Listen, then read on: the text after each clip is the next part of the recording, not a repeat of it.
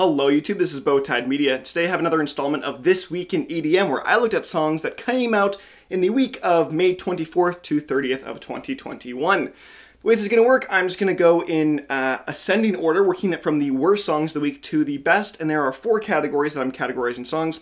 One, don't bother, songs that I just think you're not going to like at all neutral that I was like meh on, but maybe you will enjoy more. A good listen, something I think is a good good listen regardless of your personal preference on genre or anything like that. And finally, standout. But spoiler alert, there are no standouts, and I actually think this is a fairly weak week. Huh.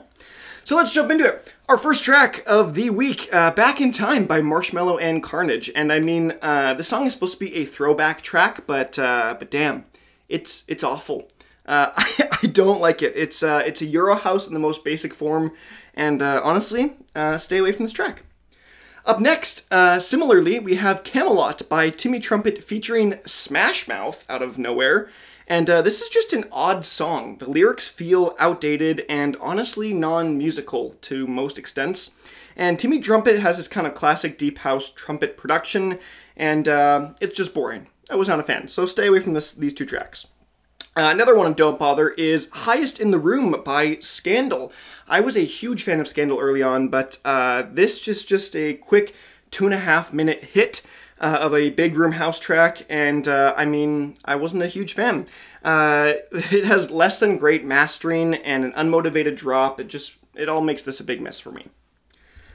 Up next, I Miss the Future by Lost Kings featuring Jordan Shaw. Uh, this is a, for the most part, a basic, boring trap track that I've heard time and time again that just feels super outdated, or not even outdated, just just so overused.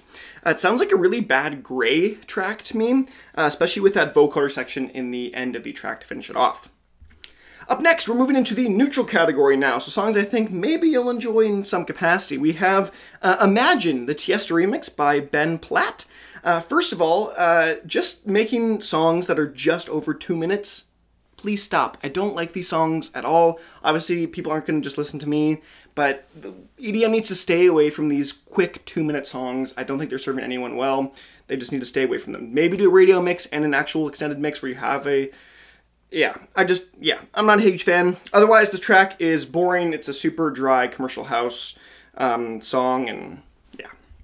Up next, Shine Your Light by Master KG and David Guetta featuring Akon.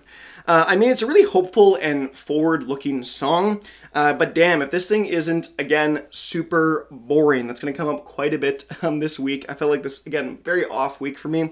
Uh, sadly reminds me of Lil Dicky's Earth and kind of how just, yeah, it was just weird and almost shallow. I wasn't a big fan. Up next, uh, You Wanna Stay by Infected Mushroom. Uh, I picked this track from the EP because, well, it is this single that was released, I guess. Um, but I think it's the best of the project. But even that is to say that I didn't love it a ton. I think Infected Mushroom is running out of their creativity a little bit, and this just sounds like everything else they've released on Monstercat beforehand. Up next, Praise, the Malaa remix by Tchami featuring Gunna. Uh, Malaa's remix here isn't really my classic flavor of what I really enjoy listening to. Uh, it's a glitchy electro house version of a pretty solid track to begin with, uh, and the remix just doesn't capture the same feeling that the original did. Up next, Peace of Mind by Drove.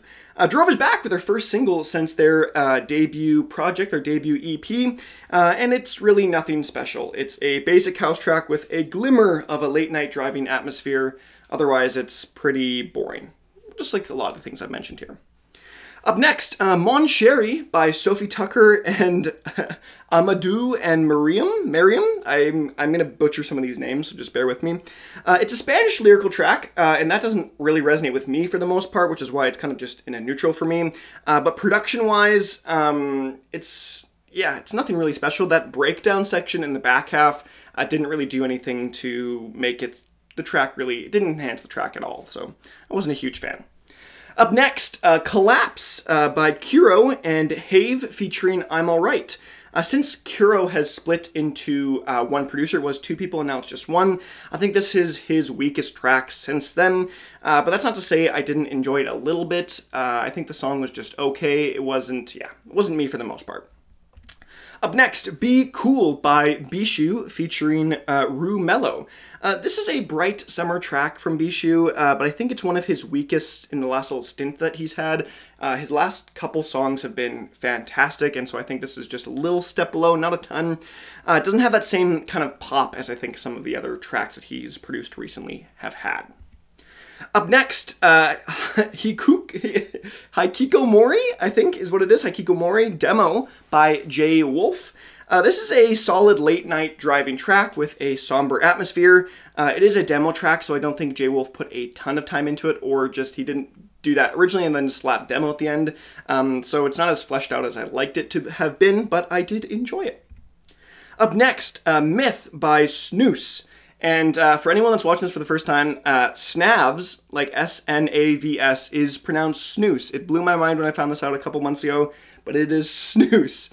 Uh, it's a fairly basic hybrid trap track here, and uh, it was good, but not super noteworthy in my opinion. Up next, Speak Easy by NGHTMRE and Alexandar Smash featuring Ghostlo.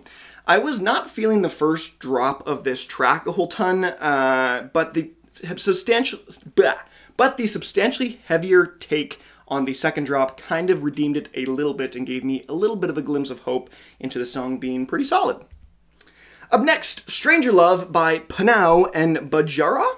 Uh, it's not a bad Future House track, uh, but I've heard PNAU mix and master and honestly have better creativity than this track. I don't mind it, but I think PNAU has done a lot better in the past. So that's why it's here. Up next, Echelon by Notaker. Uh, this track was a little bit less atmospherically focused, as I think Notaker has done in the past, and something that I think he really excels when he makes a kind of space operatic sound. Uh, but this wasn't quite that, so in comparison to the rest of his discography, it's a solid electro house track, but nothing that I think was outstanding, especially compared to his other stuff. Now we've got Like You by Rome in Silver. Uh, I didn't find this track super interesting. Uh, in Silver does a ton of experimental sound design, and this one just felt a little tame to me in comparison to what he's done in the past. Moving on, we've got Crikey by Droptek. Uh, this is a solid halftime D&B track by Droptek. I don't normally love D&B. I keep saying that to myself, but I find myself really listening to a lot of drum and bass right now. Uh, but this song just screams Droptek to me with its kind of bubbly synths and distorted bass hits. And so if you like Droptek, if you like D&B, you'll like this song a lot. Up next, we've got Pick Me Up by Sam Feldt and Sam Fischer. Uh, this is a kind of cookie cutter summer deep house track, but it honestly isn't all that bad. It's just super basic. So if you like that kind of stuff, this is definitely going to be a radio friendly or summer hits EDM song. Up next, A Reason to Hold On by Flaws. Uh, Flaws takes a predominantly more acoustic approach to this track than I think I've heard him do in the past anywhere, really. And he takes the back 30 seconds of this track to be a little bit more glitchy uh, with a production style, but for the most part, I thought the track was, uh, was, was good. So that's where it is. Up next, we've got Fast Forward by Uppermost, and this is a fairly catchy, simplistic house track.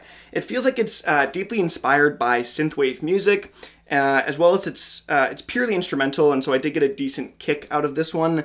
I wish it kind of would have been fleshed out a little bit more, but it wasn't too bad for me.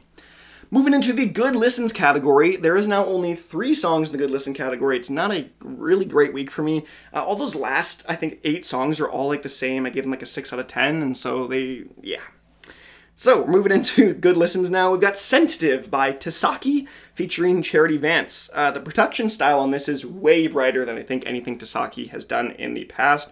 I am liking the sound design of this a ton, and I'm hoping this uh, upcoming album, this is the first single from an upcoming album, will sound similar to it. And so I'm excited for it. Uh, that is Sensitive. Up next, we've got Sick by Jauz, Frank Zummo, and featuring We Are Pigs. Uh, this track is like a pseudo rock track with hints of EDM here and there, other elements that are kind of spliced in throughout the whole track. Uh, I enjoyed it quite a bit for its consistent energy and kind of in your face tonality. And with that, we're going to be moving into the best track of the week, in my opinion. It is Alberta by Memba and Sar. Uh, fun fact I live in British Columbia, which is right next to Alberta. Uh, I don't know why it's actually called that. There's really nothing about the song that makes it feel like it's Alberta is a good title. I don't really get it, but Regardless, I have always been a fan of Memba and their sound design, and this is no exception, really. Um, I love their kind of take on the future bass genre, future bass genre, and this is another solid track for them. So that's been this week in EDM. Let me know what you guys think of these tracks. If there are artists you want me to cover, uh, just let me know in the comment section below and I will follow them on Spotify so that when stuff comes out, I can see it in my release radar. That's why I go through and find all of these songs. I just follow as many people as I can, as many EDM people as I can on Spotify, and then when it hits Friday or Thursday at 9 p.m. for me, I go through and list out all the songs I want to cover. So that's that. I have been Bowtied Media. I will see you guys in another video.